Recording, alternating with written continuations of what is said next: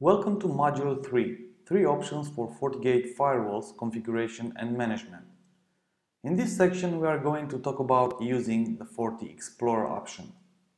So FortiExplorer for iOS is compatible with iPhone and iPad and supports configuration via RESTful API interface and that is a RESTful application programming interface and it will display the FortiView and other security fabric components. You can use like the FortiExplorer for iOS to perform most of the Forti operating system configuration management tasks. Advanced features on the other side will be available with the purchase of an add-on through the App Store, the Apple App Store. Well, these paid features include adding more than two devices and downloading firmware images from, uh, from FortiCare. Now using the FortiExplorer and connecting to a FortiGate, how is this done? The connection is done to FortiGate's USB management port. So it has a port, a USB port, and you'll just take the cable that you charge and transfer photos and information from your iPhone and iPad and connect it directly to the appliance. You then open the FortiExplorer app that you have downloaded from the App Store and select your appliance from the list. In terms of how to add an appliance in your, in your FortiExplorer application, when you have to complete the fields on the host, you would complete like you'll write USB and username and password are per configuration. What does this mean? It means that if it's a, a brand new appliance, we've seen up to this point that the username is admin and then no password. And if you have uh, pass this step and it's uh, an appliance that you've been using and set up any username and password, then you will use those obviously.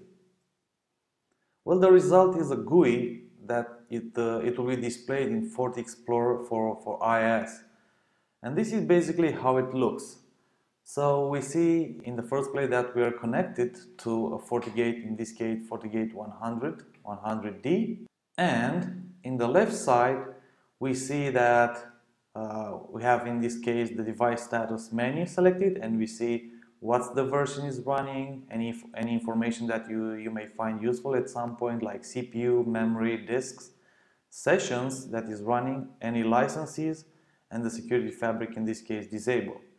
So take a look here on the left side, you have available from, uh, from the FortiExplorer application, we have configuration, firmware, in the network, we can go to configure the interfaces like we did for, for example, uh, admin access on the HTTP or maybe we want to enable SSH and Telnet as we will see in the next uh, sections for remote access from, from distance, so, so not locally.